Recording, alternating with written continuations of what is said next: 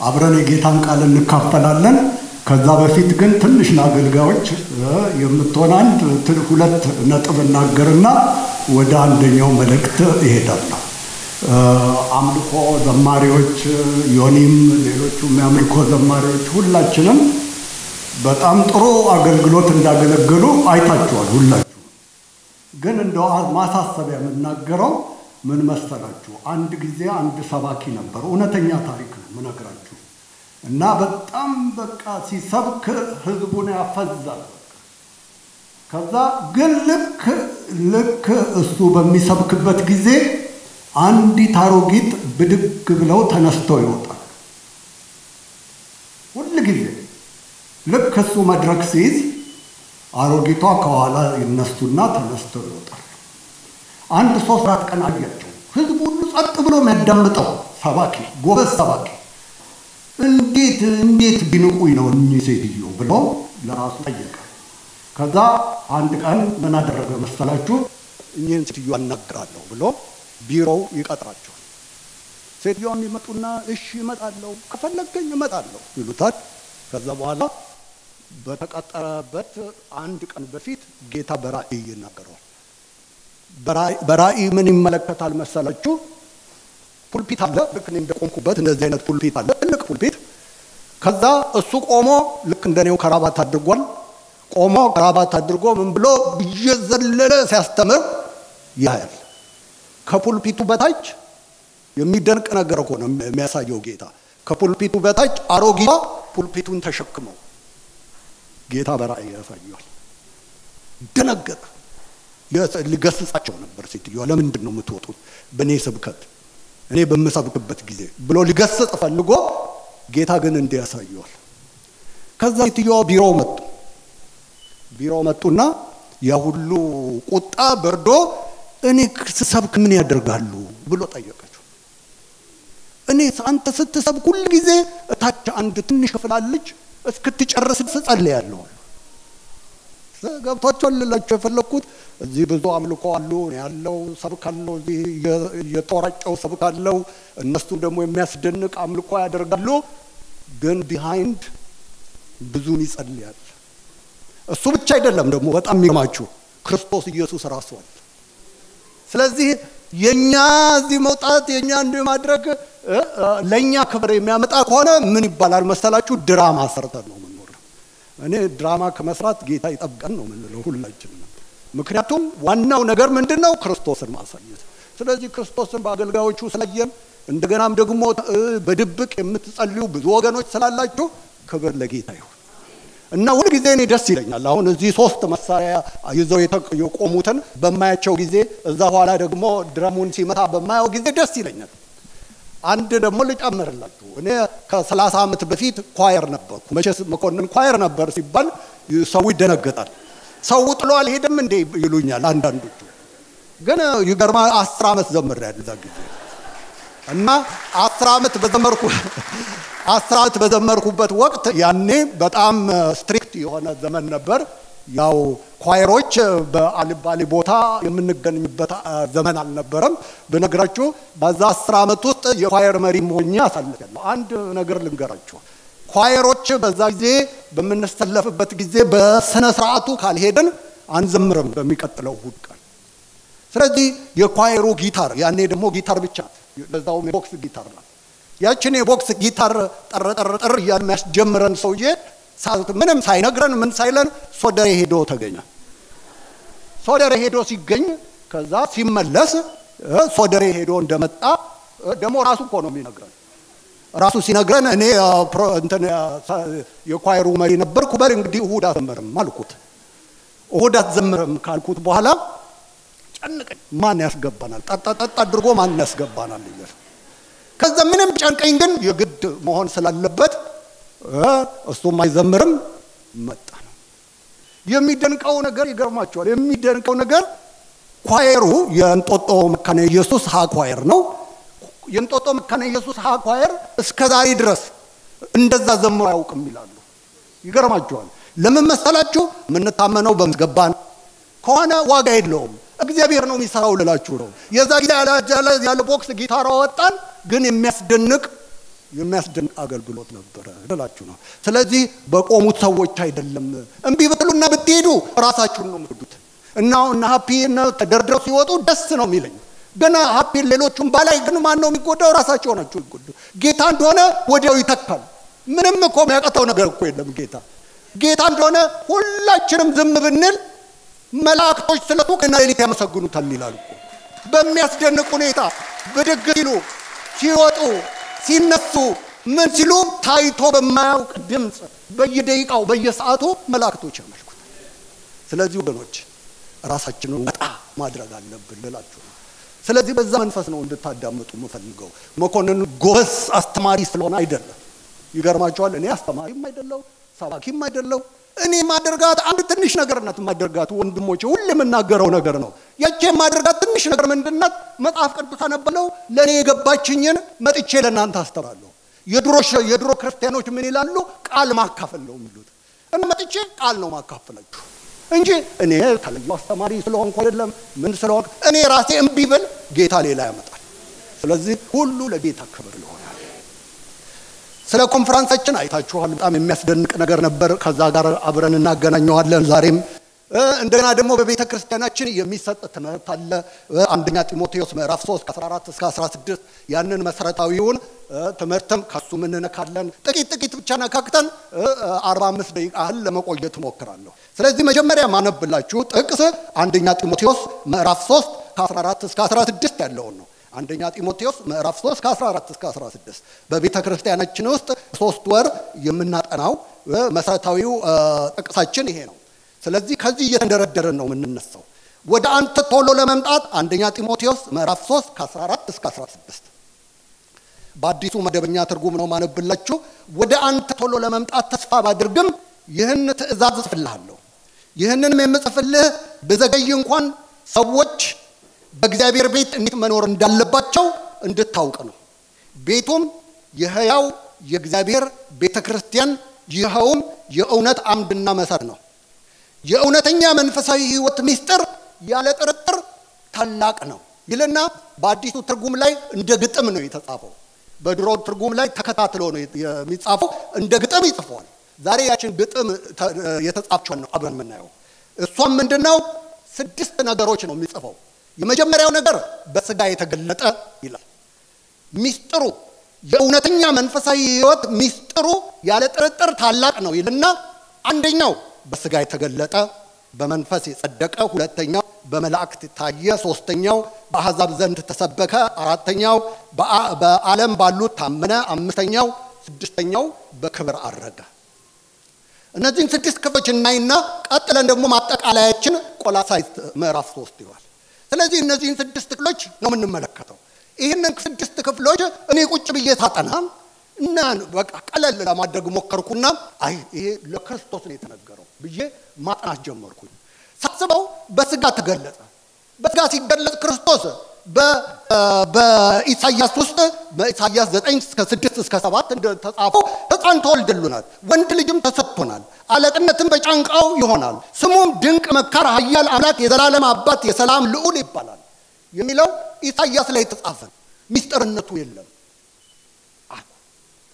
በመንፈስ ጸደቀ ስትሉ ክርስቶስ በመንፈስ እንደጸደቀ አሁንም ምንም ሚስጥርነት የለውም። እሱ አምላክ ነው። አብ፣ ወልድ፣ መንፈስ ቅዱስ እግዚአብሔር ነው። እሱ በመንፈስ መጽደቁ ምንም ጥርጥር የለውም። በላክ ታየ። ክርስቶስ መላእክትን ሁሉ ከፈጠሩት ውስጥ ነው። መላእክቶች ሁሉ ጊዜ ያዩታል። ይህም ምንም ምስጢርነት የለውም። በአሕዛብ ዘንድ ተሰበከ። ከብሉይ ኪዳን ጀምሮ ስለ ክርስቶስ በፊት ለፊት እያዩ ይሰብኩ ነበር ክርስቶስን። ከአዲስ ኪዳን በኋላ ደግሞ ክርስቶስ ራሱ በመንፈስ ከኛ ጋር በመሆን ለአሕዛብ እስከ ዛሬ ድረስ እየተሰበከ ነው። ማርክሲዝም ሌኒኒዝም ሲወድቅ ሌላ ትልልቅ ፍልስፍናዎች ሲመጡ ሲነሱ ሲወድቁ ሕዝብ አይን ላፈር ሲላቸው የተለያዩ ፍልስፍናዎችን ግን የጌታችን የኢየሱስ ክርስቶስን ወንጌል ግን እስከ ዛሬ ማንም አይን ላፈር ያለው የለም። እስከ ዛሬ ድረስ ይሄዳል።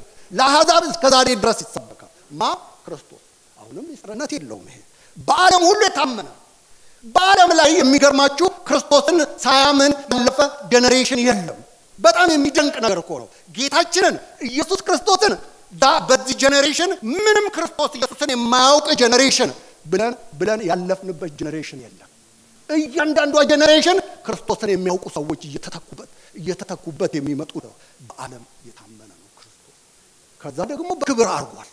በክብር ያረገ ነው። ስለዚህ ቁጭ ብዬ ይሄ ነገር ለክርስቶስ ሊሆን አይችልም።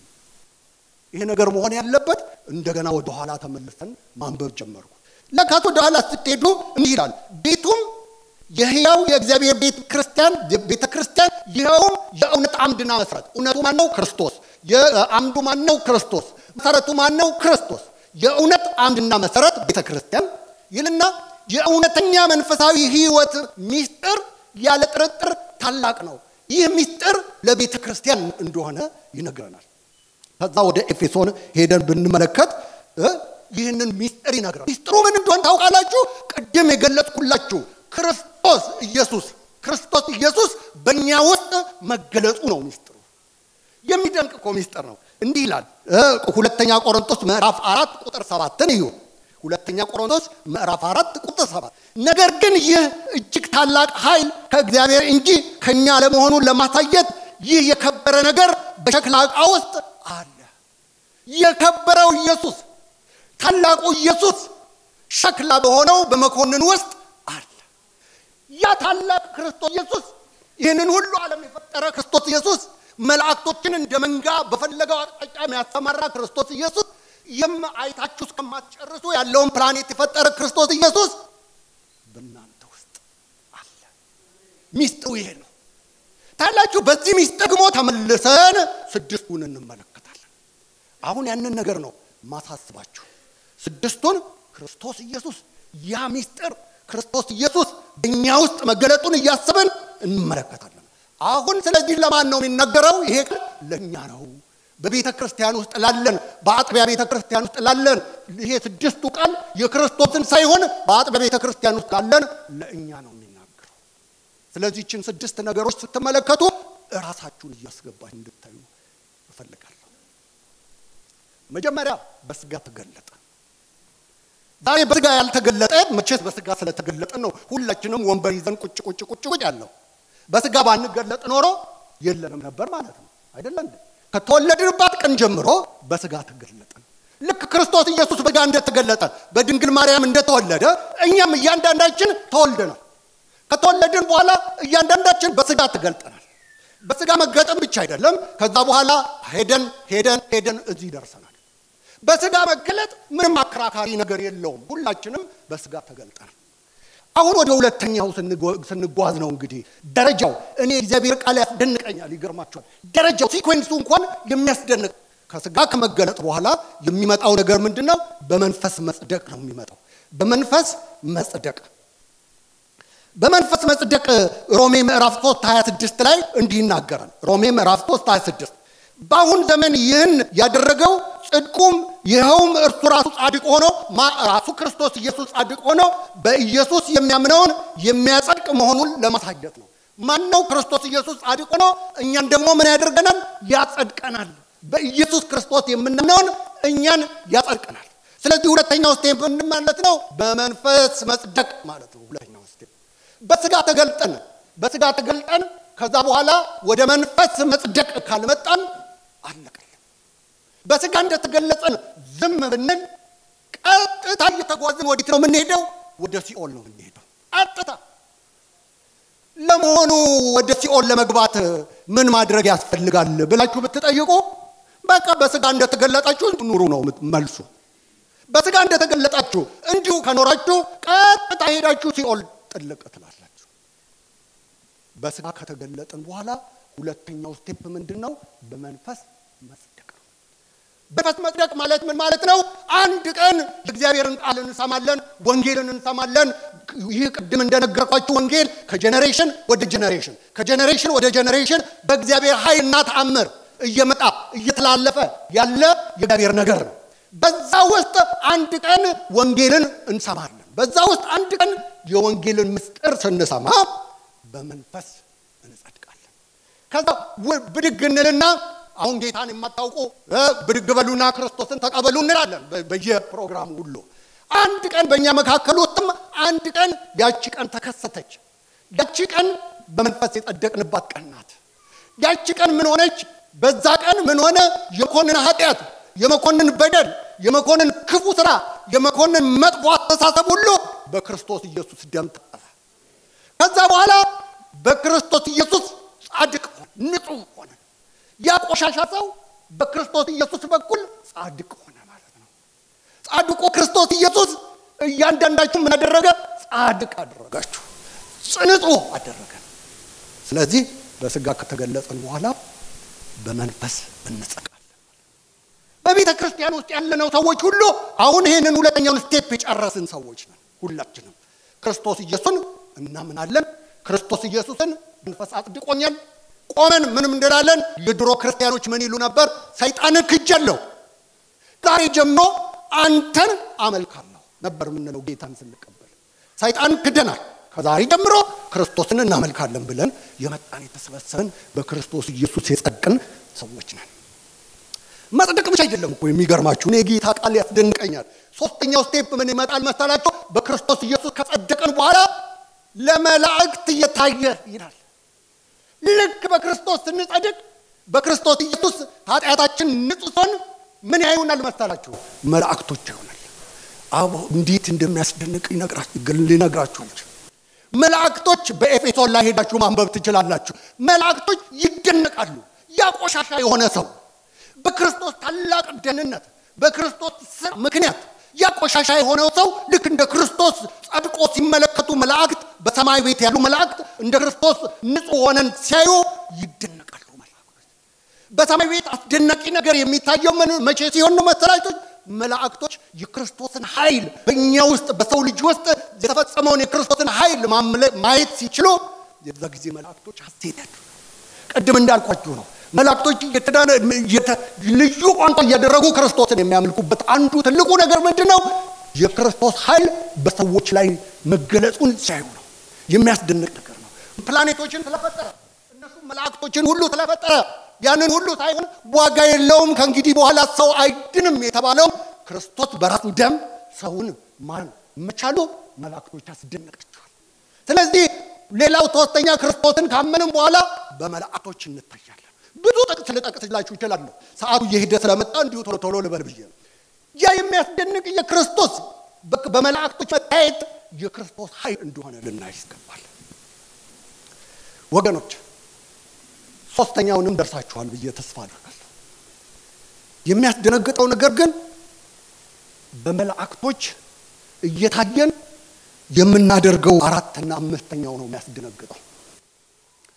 ክርስቶስ ቅድም እንደነገርኳችሁ ክርስቶስ በአሕዛብ ዘንድ ተሰበከ ብለናል አይደለ እንዴ?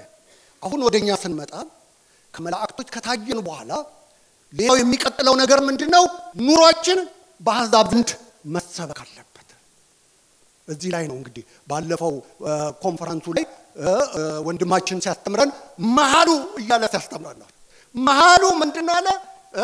ራእይ ምዕራፍ ሁለትና ሶስት መሀሉ ነው በዚህ ክፍል ደግሞ መሀሉ አራትና አምስት ነው። አራትና አምስት በአሕዛብ ዘንድ ተሰበከ፣ አምስት በዓለም ታመነ። ሁለቱ መሀሉ ነው።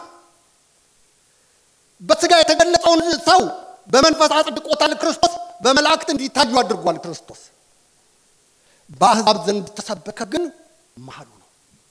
በዚህ መሀል ውስጥ እያንዳንዳችን ህይወታችን በአሕዛብ ዘንድ በማያውቁት ሰዎች ዘንድ ነው። ዛሬ ብዙ ጊዜ ወንጌልን ይዘን እንወጣለን፣ እንናገራለን፣ ብዙ የተለያዩ ነገሮች እናደርጋለን። ግን ሰውን የሚፈነቃቅለው ነገር ምን እንደሆነ ታውቃላችሁ? ኑሮና ህይወት ነው የሚፈነቅለው። ዛሬ ክርስቶስ ያመነውን ክርስቶስን ካልኖርን ኑሯችን አሕዛብን ሊሰብክ አይችልም። በጣም የሚያስደንቀውና ከባዱ ነገር ይሄ ነው። አሕዛብን የሚሰብክ ህይወት መኖር አለብን። ክርስቶስን ስንመለከት ቅድም በክርስቶስ በኩል በክርስቶስ አቅጣጫ ስናየው ያለቀ የተፈጸመ ነው ብያችኋለሁ አይደለ? የክርስቶስ ኑሮ የክርስቶስ ሁኔታ እስከ ዛሬ ድረስ አሕዛብን ይሰብካል። ግን አሁን ክርስቶስ ደግሞ የመረጠው እኛን በመንፈስ አድቆ በመላእክት አሳይቶ እኛ ራሳችን እዚህ ቤት ያለነውን ሁላችንን ለአሕዛብ ኑሮውን ክርስቶስን ማሳየት ነው የመረጠ መንገድ። ይህንን ለማድረግ እናንተ ሬዲ ናችሁ? እያደረግን ነው? ጥያቄ ምልክት እሱ ነው። ክርስትና እኔ አዝናለሁ፣ ይገርማችኋል። ክርስትና ጋጠ ወጥነት አይደለም። ክርስትና የዲሲፕሊን መንገድ ነው። ቆላሳይት ምዕራፍ ሶስትን ሁሉንም ክፍል ባጭር ባጭሩ ከፍቻ እኔ እነግራችኋለሁ። በአዲሱ ትርጉም ትንሽ ትንሽ ትንሽ የቀነጣጠብኩትን አብረን እናያለን። ክርስትና የህይወት መመሪያ ነው። በዲሲፕሊን የምንኖረው ነገር ነው እና ምን ይላል መሰላችሁ? ቆላሳይስ ምዕራፍ ሶስት በሲጀምር በላይ ያሉትን ነገሮች እሹ ይላል። ስለዚህ ክርስትና መጀመሪያ ቅድም እንደነገርኳችሁ በስጋ ከተገለጽን በኋላ በመንፈስ ስንጸድቅ አንድ የምናየው ነገር አለ። ይህም የምናየው ነገር በላይ ያለውን መመልከት በላይ ያለውን መመልከት እኔ የትልቁ የክርስትና መበላሸቱ ሚስጥሩ ያ ይመስለኛል። ልክ በመንፈስ ከጸደቅን በኋላ በላይ ያለውን ከመመልከት ምን እናደርጋለን መሰላችሁ? እዚሁ በጎን እናያለን። መጽሐፍ ቅዱስ ግን የመጀመሪያው መሰረቱ በላይ ያለውን ተመልከቱ። በላይ ያለውን ስታስቡ ይላል በሀሳባችሁ በላይ ባለው እንጂ በምድራዊ ነገር ላይ አይሁን ይላል። እዛው ቆላሳይት ላይ ስትመለከቱ ሀሳባችሁ ምን መሆን አለበት ይላል? በላይ ባለው ነገር የምታደርጓት ነገር ሁሉ የምትፈጽሙት ነገር ሁሉ በላይ ያለውን እየተመለከታችሁ ካደረጋችሁ ምንም ችግር አይኖርም። ዛሬ ብዙ አገልጋዮች አለን እዚህ ቤተ ክርስቲያን ውስጥ ዘጠኝ department አለ ቤተ ክርስቲያን ውስጥ። የልጆች አገልጋዮች አሉ የወጣት አገልግሎት አለ። ምን ማት የአገልግሎት ዘርፍ ሞልቷል? ግን በአገልግሎቱ ዘርፍ ውስጥ ሁሉ ያሉት አገልጋዮች ሁሉ ምን ማየት አለባቸው? መጀመሪያ በላይ ያለው የልጆች አገልግሎትን ስንመለከት እኔ አንዳንድ ጊዜ በልጆች አገልግሎት እደነቃለሁ ይገርማችኋል የኔ ልጅ ትንሽ ሆና አምጥቼ የሰጠሁት ለህፃናት ለልጆች አገልግሎት ወስጄ የሰጠኋቸው አገልጋዮች እስካሁን ድረስ ያገለግላሉ። ሳይታክቱ ሳይደክሙ ሀያ ዓመት ሊሞላ አስራ ስምንት ዓመት አስራ ዘጠኝ ዓመት የእናንተን ልጆች ሁሉ ያሳደጉ አገልጋዮች እስከ ዛሬ ድረስ አሉ። ለምን? ስለሚከፈላቸው ነው ስለሚሰጣቸው ነገር ነው? አይደለም። ምንድን ነው በላይ ያለውን ስለሚመለከቱ በላይ ያለ ህይወትን የሚቀያይር ነገር ነው። በላይ ያለውን ስትመለከቱ በቃ ፕላኑን ሁሉ እቅዱን ሁሉ በምን ታዩታላችሁ? በላይ ባለው መነጽር ትመለከታላችሁ። በላይ ያለውን ስትመለከቱ እዛው ላይ ምን ይላል መሳለው ሞታችኋል ህይወታችሁም ከክርስቶስ ጋር በእግዚአብሔር ዘንድ ተሰውሯል። በላይ ያለውን ስትመለከቱ መሞታችሁ ይታወቃል። ህይወታችሁ ከማጋ ይላል ከክርስቶስ ጋር በማን ዘንድ ተሰውሯል? በእግዚአብሔር ዘንድ ተሰውሯል። ይገርማችኋል። ይህንን ሚስጥር ማወቅ አንችልም እኛ ለምንድን ነው ማነ ማየት የማንችለው? እዚሁ ጎን ለጎን እያየን ስለምንሻኮት ነው። ግን እስቲ ከጎን አይናችሁን ብድግ አድርጉና ወደ ላይ እዩ። ወደ ላይ ስትመለከቱ ህይወታችሁ በእግዚአብሔር እጅ እንደተሰወረ ትመለከታላችሁ። የዛ ጊዜ የምታደርጉት ነገር ሁሉ ማንን ለማስደሰት ይሆናል? ጌታን ለማስደሰት ይሆናል። ክርስትና በዚህ መሰረት መመስረት መጀመር አለበት ከዛ ደግሞ ረድ ስትሉ ምን ይላል መሰለ ክርስቶስ በሚገለጽበት ጊዜ እናንተ በዚያን ጊዜ ከእርሱ ጋር በክብር ትገለጻላችሁ። በላይ ስትመለከቱ ሁል ጊዜ የምትመኙት ነገር ምን እንደሆን ታያላችሁ? ከክርስቶስ ኢየሱስ ጋር በክብር ስትገለጹ ነው የምታዩት። ዋ እኔ በህይወቴ የምመኘው አንድ ነገር ቢሆን ከክርስቶስ ኢየሱስ ጋር በክብር መገለጥን ብቻ ነው የምመኘው ወገኖቼ ይህ ታላቅ ታላቅ ታላቅ የሆነ ሚስጥር ነው ወገኖች ከክርስቶስ ጋር በክብር የምትገለጹበት ነገር ከአእምሯችሁ ከወጣ ስተናል ከክርስቶስ ጋር በክብር የምንገለጽበት ቀን ካልናፈቀን ስተናል። ከክርስቶስ ጋር በክብር ስለዚህ ይላል ቆላሳይት እዛው ወረድ ስትሉ፣ ስለዚህ አታድርጉ ያለው ነገር አለ። ስለዚህ ምድራዊ ምኞታችሁን ግደሉ ይላል። ስለዚህ ምንድን ነው ማድረግ ያለባችሁ ይላል? ምድራዊ ምኞታችሁን ግደሉት። ዳኒ Bible study ያችን ላይ ዳኒ እኔ እዛ ሩቅ ያለ ነው Bible study አለን። በ Bible study ያችን ላይ አንድ ነገር ነገረን። የድሮ ግዞተኞች ሰዎች ግዞት ሲጣሉ ሁለት ሁለት ሆነው በሰንሰለት እጅ ይታሰሩና ግዞት ይጣላሉ አለ እና ግዞት ይወድቁና ስጋ እንዴት አስቸጋሪ እንደሆነ ልነገራችሁ ነው። ይጣላሉ። ከዛ በኋላ ሁለቱም በህይወት እያሉ ሰንሰለቱን ቃቃቃ እያደረጉ እየሄዱ ምግብም ከሆነ አብረው ይበላሉ። ሽንት ቤትም ሲሄዱ አንዱ ሽንት ቤት ባይመጣበት አንደኛው ሽንት ቤት ቢመጣበት አብረው ይሄዳሉ። እስከዛ ድረስ እንደምንም እያሉ እየታገሉ ይኖራሉ። ችግሩ ግን አንዱ ሲሞት ነው። አንዱ ወይ በበሽታ ወይ በተላላፊ ነገር ይሞታል። ሲሞት ቀሪው ምን ያደርጋል ይላል? እየጎተተ የድሮ እኮ ግዞት ስነግራችሁ እየጎተተ ሽንት ቤት ይሄዳል፣ እየጎተተ ይመጣል። እዛ ደግሞ የሞተው ስጋ እኮ አለ እየሸተተው እንደዛ ያደርጋል። ስጋ ማለት እንደዛ ነው። በቃ አይለቃችሁም። አሁን የስጋዊ ምኞት ምን ያህል ጠንካራ ክርስቲያኖች ብትሆኑ እኔ አሁን ለምሳሌ ድሮ ዳንስ ቤት ሄደን እንስበክ ይሉ ነበር። ራቁታቸውን የሚደንሱ ኢትዮጵያ ውስጥ ድብቅ ቦታ ነው።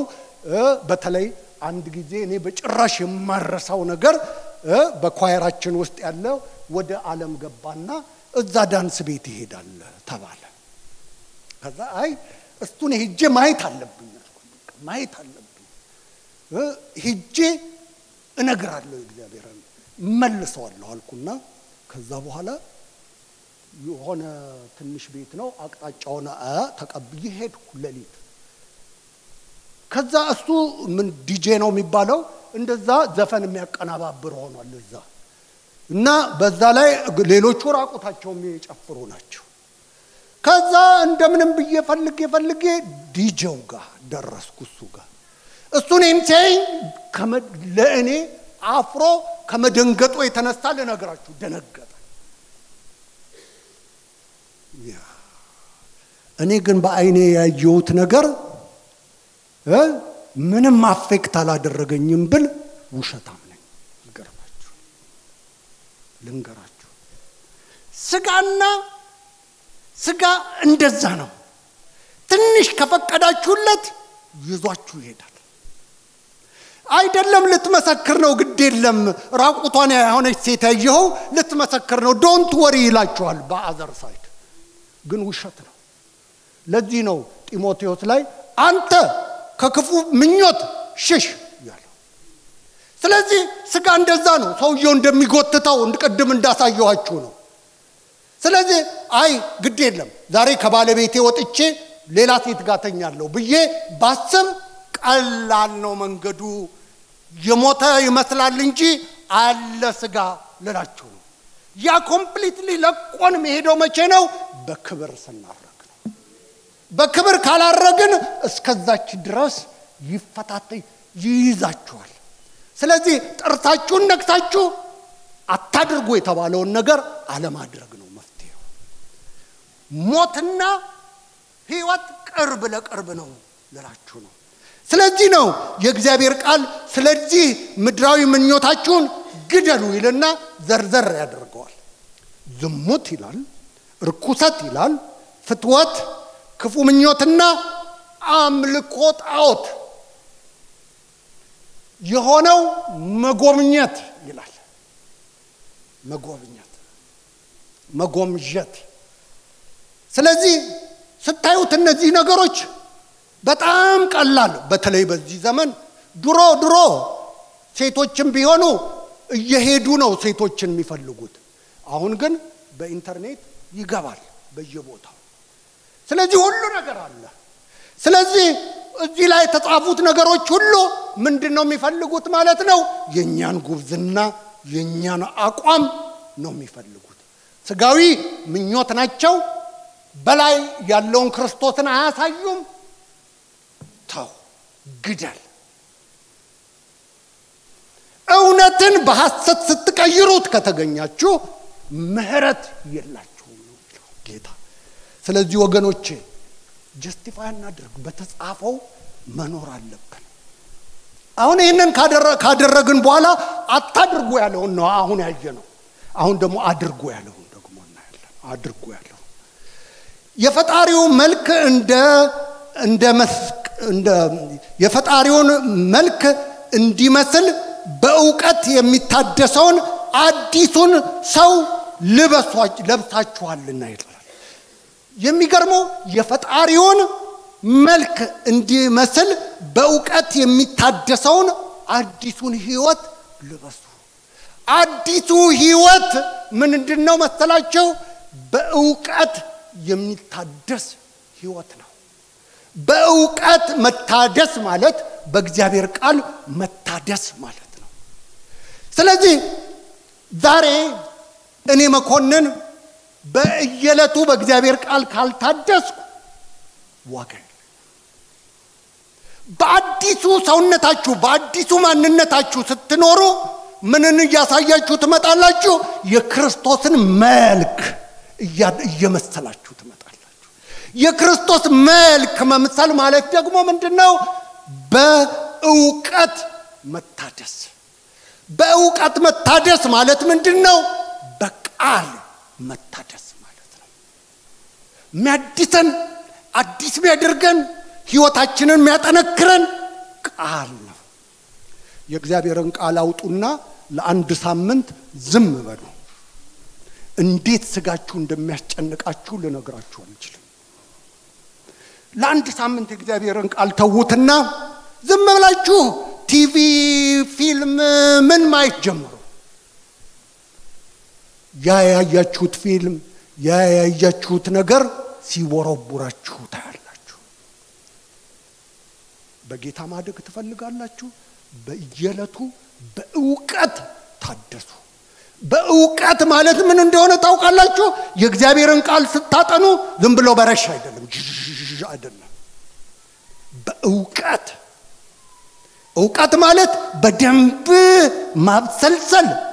ከዛ ያችን ያያችኋትን ነገር ወደ ስራ ስትሄዱ ማመንዠክ። ከዛ ያቺ ቃል በውስጣችሁ እየሰራች እየሰራች አዲስ እያደረጋችሁ ትሄዳለች። አዲሱ ማንነታችሁ የማይነቃነቅ ማንነት መሰረት ይዞ ይመጣል ማለት ቅድም አታድርጉ፣ አሁን አድርጉ። ማድረግ ያለባችሁ ከዛሬ ጀምሮ ወገኖች፣ ከዛሬ ጀምሮ መኮንን እውነት ውሸት ሳይሆን የእግዚአብሔር ቃል የሚነግረን እኔም አድርገው እናንተም የምታደርጉት አንድ ነገር ምን መሆን አለበት? የእግዚአብሔርን ቃል ማመንዠክ መጀመራል። በእውቀት የታደሰውን አዲሱን ሰው ለብሳችኋል። ዝም ብሎ አይደለም፣ በእውቀት የታደሰውን አዲሱን ሰው ለብሳችኋል። ያ አዲሱን ሰውነት የሰጠን ክርስቶስ ኢየሱስ በቃሉ ውስጥ ነው የሚገኘው ወገኖች፣ በቃሉ ውስጥ ክርስቶስ ኢየሱስ ይገኛል። ያንን ባያደርግ በቃሉ ውስጥ ክርስቶስ ባይገኝ ራሱ ጌታ ውሸታም ነው ማለት ነው። ጌታ ደግሞ አይዋሽም ይላል መጽሐፍ ቅዱስ ላይ። በቃሉ ሁል ጊዜ ያድሳችኋል። በቃሉ ስትታደሱ ይላል በጣም elementary የሆነውን ነገር ማድረግ ትጀምራላችሁ። ምን ይላል እዛ ላይ?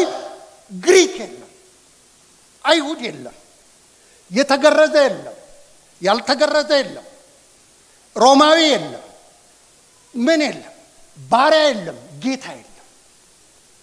እችን ትንሿን elementary የሆነውን ነገር ማድረግ እንጀምራለን ማለት ዛሬ የተማረ ያልተማረ በቤተ ክርስቲያናችን ውስጥ በቃሉ እየታደስን ስንመጣ ሁላችንም እንደ ሞተር የእግዚአብሔር ቃል እያደሰን ሲመጣ አጠገቤ ያለው ወንድም ይማር አይማር፣ ዶክተር ይሁን አይሁን ለእኔ ጉዳይ አይደለም። ጉዳይ ምንድን ነው? የእሱ የክርስቶስ ፍቅር ነው ጉዳይ። በቃ አያችሁ፣ በክርስቶስ መታደስ። አለበለዚያ በክርስቶስ ባትታደሱ፣ በእውቀት ቃል ባትታደሱ ገና የመጀመሪያ ዳንኤል አንተ ምንድን ነህ? አማራ። ዳንኤል አንተ ምንድን ነህ? ኦሮሞ። እኔ ምንድን ነኝ? ኦሮሞ። አንተ ምንድን? ትግሬ። አንተ ምንድን? ደቡብ። መጽሐፍ ቅዱስ ግን በእውቀት በእግዚአብሔር ቃል እውቀት ስትታደሱ ምን ይሆናል ይላል? አማራ የለም፣ ደቡብ የለም፣ ትግሬ የለም፣ ቤንሻንጉል የለም፣ ምን የለም። ምንድን ነው የሚሆነው ይላል? የእግዚአብሔር ፍቅር፣ የእግዚአብሔር ኃይል። ወገኖች please please፣ ይሄ elementary ነገር ነው። ሁላችንም ልናደርገው የሚገባን ነገር ነው። እንኳን ኢትዮጵያዊ ሳይሆን ናይጄሪያ የለም፣ ጃፓን የለም፣ ቻይና የለም፣ አሜሪካ የለም፣ ሩቅ ምስራቅ የለም፣ ምን የለም። ሁላችን በምንድን ነው? በክርስቶስ ኢየሱስ ፍቅር አንዱ ሆነናል። ስለዚህ እችን አድርጉ ነው የሚለው። በየዕለቱ በየዕለቱ በቃሉ ታደሱ። እንደገና እንዲህ ይላል፣ እንግዲህ ተቀድሳችሁ የተወደዳችሁ የእግዚአብሔር ምርጦች እንደመሆናችሁ ይልና ከዛ በኋላ አሁን የተቀደሳችሁ የእግዚአብሔር ምርጦች እንደመሆናችሁ ምንን ልበሱ ይላል? ርኅራሄን፣ ቸርነትን፣ ትህትናን፣ ጨዋነትን፣ ትዕግስትን ልበሱ ይላል። ዋ በላይ ያለውን ስትመለከቱ እርግጠኛ ነኝ ርኅራሄ ይመጣል፣ ቸርነት ይመጣል፣ ትህትና ይመጣል፣ ጨዋነት ይመጣል፣ ትዕግስት ይመጣል። ያንን ሁሉ ልብስ ይሆነናል ማለት ነው። ከዛ ደግሞ ወረድ ስትሉ እንደ አንድ አካል የተጠራችሁበት የክርስቶስ ሰላም በልባችሁ ይንገስ ይልና ምንድን ነው ይላል? አራት ዋና ነጥቦች ይነግረናል። አንደኛው የክርስቶስ ቃል በሙላት ይኑርባችሁ ይላል። ስለዚህ ወንድሞች አሁን ቤተ ክርስቲያናችን ትልቅ ኤም አድርጋ የተነሳቸው የክርስቶስ ቃል በምእመኑ ውስጥ ሁሉ እንዲሰፍን ይሄ ነው የቤተ ክርስቲያን ስለዚህ እዚህም የሚነግረን ነገር ምንድን ነው? የክርስቶስ ቃል በሙልአት ይኖርባችሁ። ለምን እንዲሆነ ብላችሁ ብትጠይቁ የመታደሱ ምስጢር የክርስቶስ ቃል ነው። የክርስቶስ ቃል ሁል ጊዜ በየዕለቱ በየዕለቱ በየዕለቱ ለሁላችን ካልደረሰ መታደስ የለም። ስለዚህ መሪ ቃሏ የክርስቶስ ቃል ነው።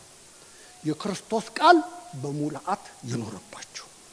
እርስ በርሳችሁ በጥበብ ሁሉ ተማማሩ። ስለዚህ ስንገናኝ ምንድን ነው መንደራረግ ያለብን? ጥበብ ነው የምንማማረው። ጥበብ ማለት ደግሞ ክርስቶስ ነው። ሌላ ትልቅ ነገር አድርጋችሁ አትመልከቱት። ጥበብ ማለት ክርስቶስ ራሱ ነው። ስለዚህ መኮንን ከቴዲ ጋር ስነ ከጋሽ ጌታቸው ጋር ከለዩ ከእያንዳንዳችሁ ጋር ስገናኝ ምን መማማር አለብኝ? ጥበብ ክርስቶስን ማስተላለፍ፣ ከክርስቶስ መቀበል፣ ከነሱ ክርስቶስን መቀበል፣ እኔ ደግሞ ወደ እነሱ ክርስቶስን ማምጣት። ስለዚህ ምንድን ነው ሁለተኛ መደረግ አለበት?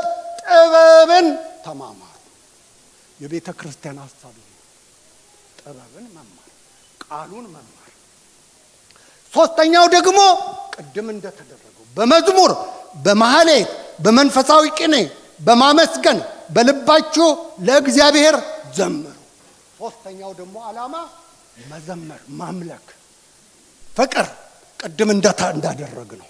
ሁላችንም ስንገናኝ የምናደርገው መዘመር፣ ማምለክ፣ እግዚአብሔርን ማክበር በቃል በጥበብ በመዝሙር ከዛ በቃልም ሆነ በተግባር የምታደርጉትን ሁሉ በጌታ በኢየሱስ ክርስቶስ ስም አድርጉ።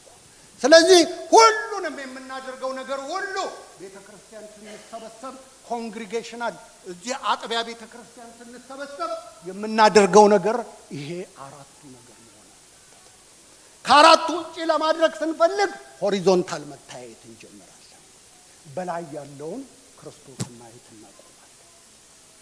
ስለዚህ በላይ ያለውን ክርስቶስን ስታዩ ቃሉን፣ ጥበብን፣ መዝሙር አምልኮን በቃል በንግግር እርስ በርስ መገናኘትን ያመጣል።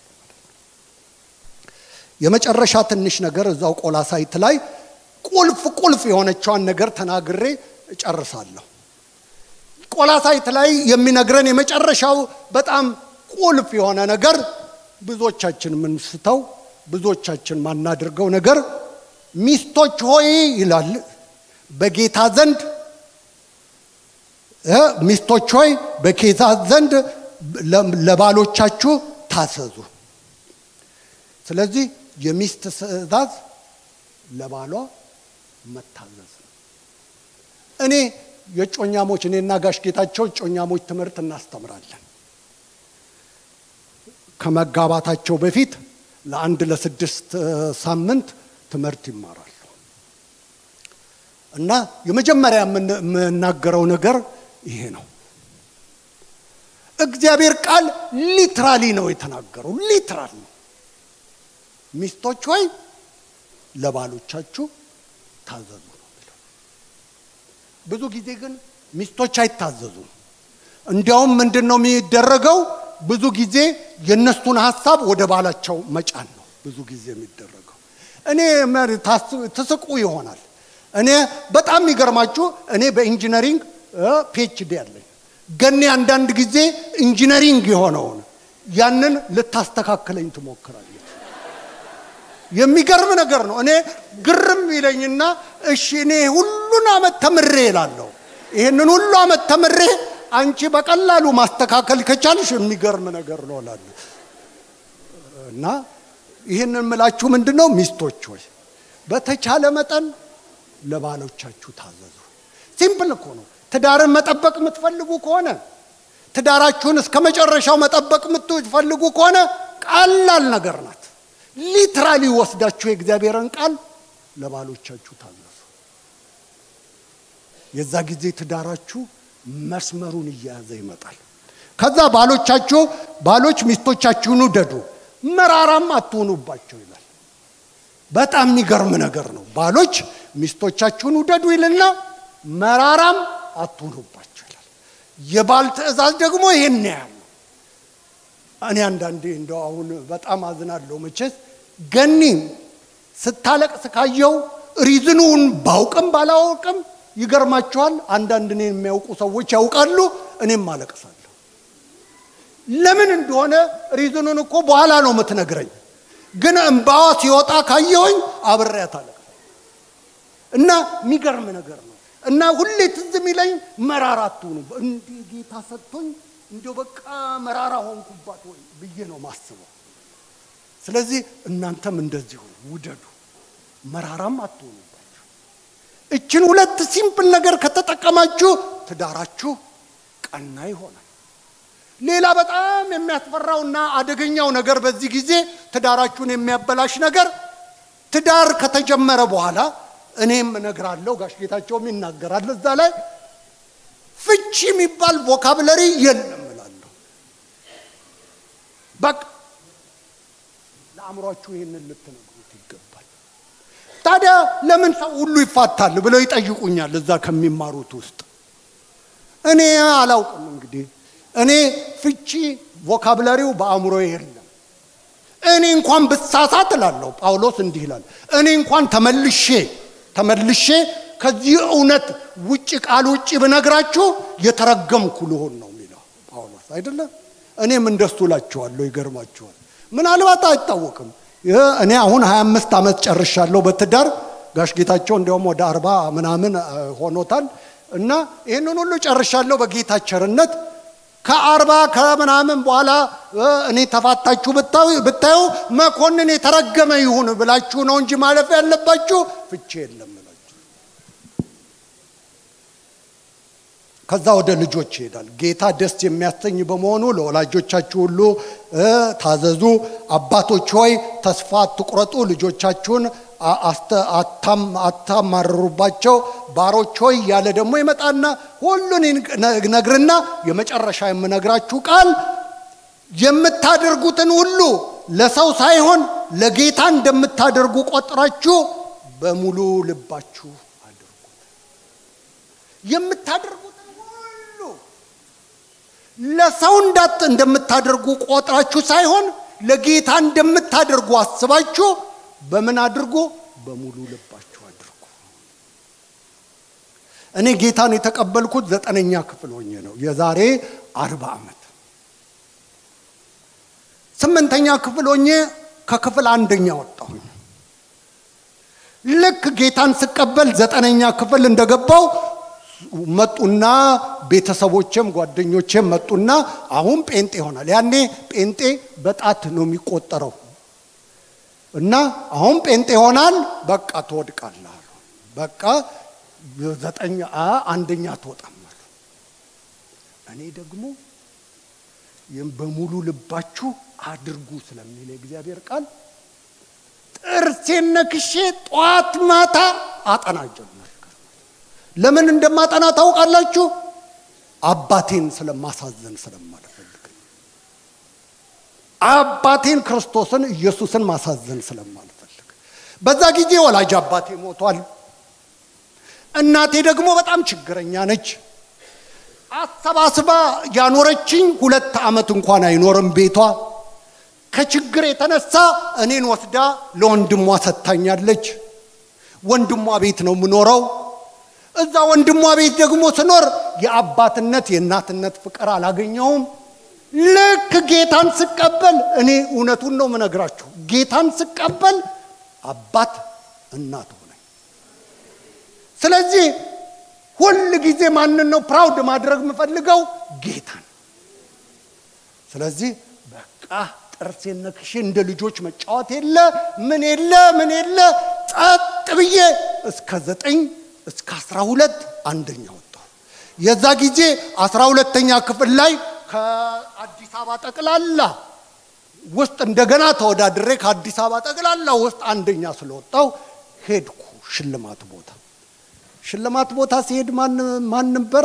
ማንም የለም ነበር። የሌሎቹ ተሸላሚዎች ሁሉ እናት አባት ምን ወጥቶ አበባ እየተሰጣቸው ይሸለሙ ነበር። እኔ ልክ ሽልማቴ ነው ይዤ የወጣውና እንዲህ ያደረግኩ ለጌታ ሳየውና ይኸው ጌታ are you proud on me ያልኩት። ይገርማችኋል።